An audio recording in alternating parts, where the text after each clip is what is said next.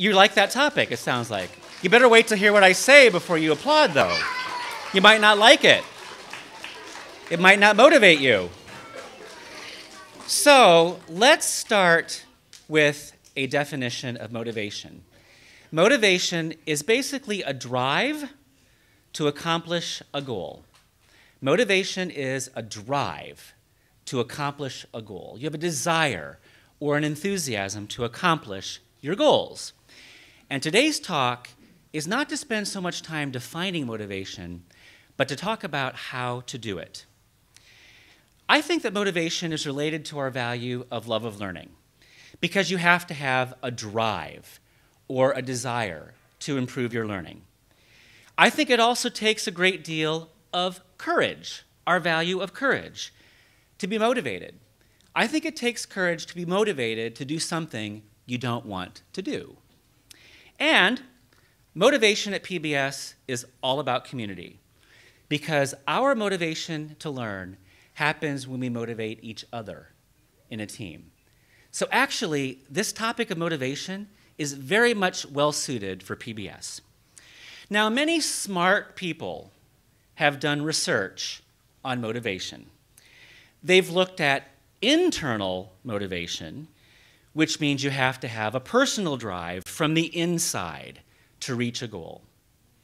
These same smart people looked at external motivation, which means that you're driven to reach a goal because there's an award or a recognition at the end of doing something well. These researchers didn't say that internal motivation was better than external motivation, but they did say this, and listen up. Actually, what we know is that if you have an internal motivation, you are in the driver's seat. You get to drive your goals. You can be, because you need to be, in charge of what motivates you and how you do it. But the problem is this so we understand what motivation is, but how do you be in charge of it? How to be in charge. How to be in charge to move from lower to higher motivation, to be more motivated. So let's face it, it's not possible to have a high desire or to have a high drive to be motivated to do everything. I'm going to talk about that. It's not possible to be highly motivated to do absolutely everything. There's stuff you don't like. So let's find ways to increase our motivation, our internal drive, so that all of us right here can reach our goals. That's what we want to do. We want to be motivated to learn and to reach our goals and to do it well. So, to be in the driver's seat, to drive our motivation, I did my own research. Professor Tina Seelig, who is at a local university, she has devised one way to look at motivation, and I added my own thoughts. Here's the first look. Motivation can be arranged from high confidence to low confidence. It's really how confident we are about doing something. And motivation is also a range from high passion to low passion. How on fire or driven are you and I about doing something? And I think it's the crossover between confidence and passion that will help us learn to be in charge of our motivation so we can accomplish our learning goals. We need to be in charge of motivation. Now, I have a story about this box low confidence and low passion. That describes Dr. Erickson as a farmer. I spent my first 18 years on the farm. I know how to milk a cow, and I can squirt that milk into a cat's mouth from 10 feet away. I know how to drive huge machinery, and that machinery will make your parents' cars look like tiny little ants. So I actually can do farming. But I had low passion and certainly low confidence about farming.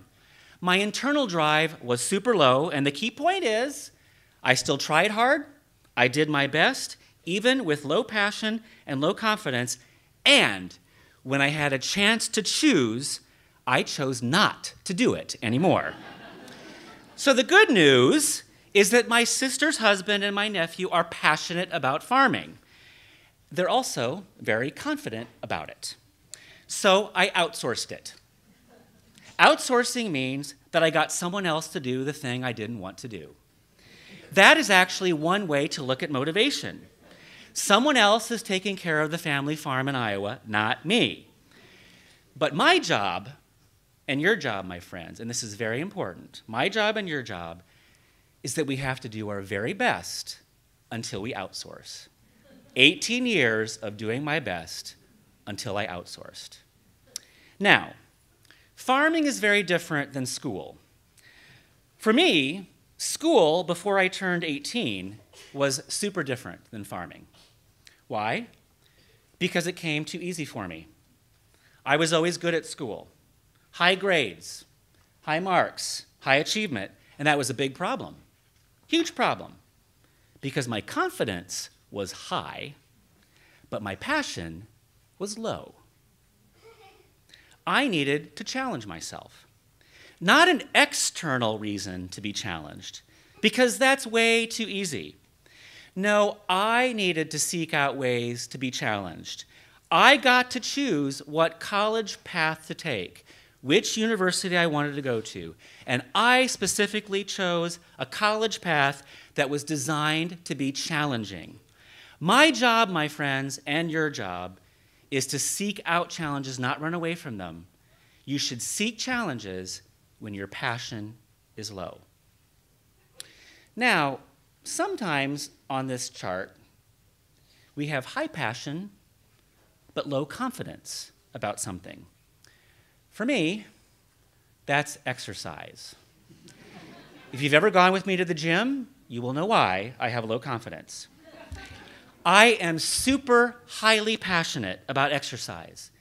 It keeps me healthy, it keeps me energized, it keeps me focused. But when I go to my local gym in San Francisco, I see lots of people who are clearly more confident about lifting weights and exercising than I am. I'm puny, I'm small, I'm not buffed like the other people in the gym.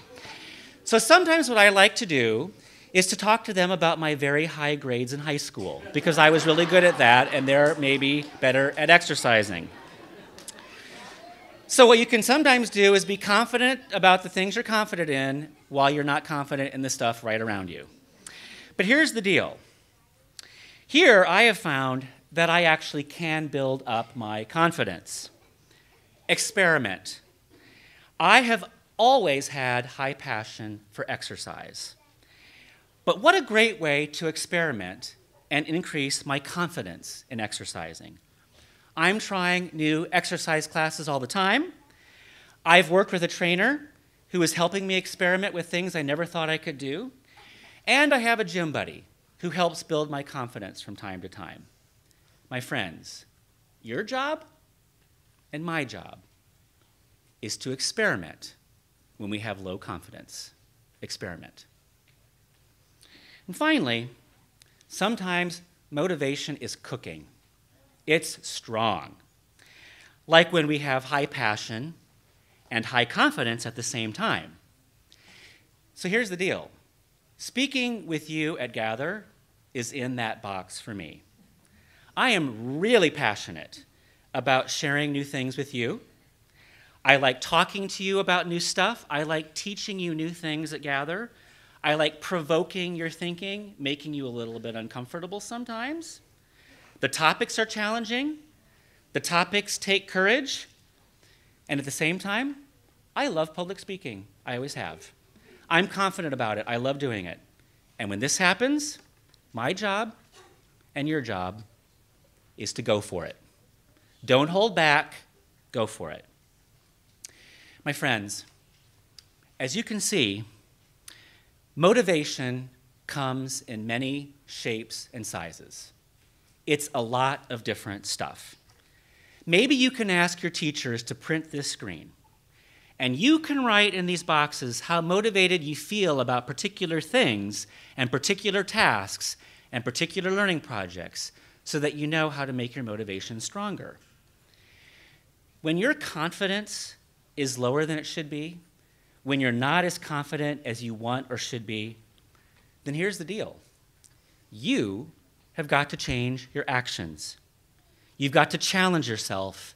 You've got to go for it.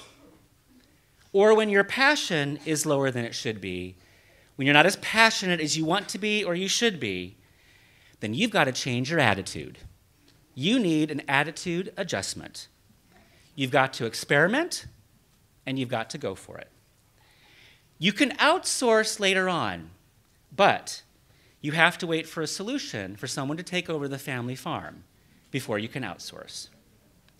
So, for now, my friends, here's the deal with motivation. Let's all get into the driver's seat. Let's drive our passions. Let's drive our confidence.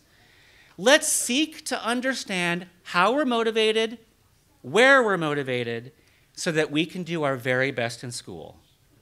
And the most important message of all that you need to take home and to your classes today go for it. Thank you.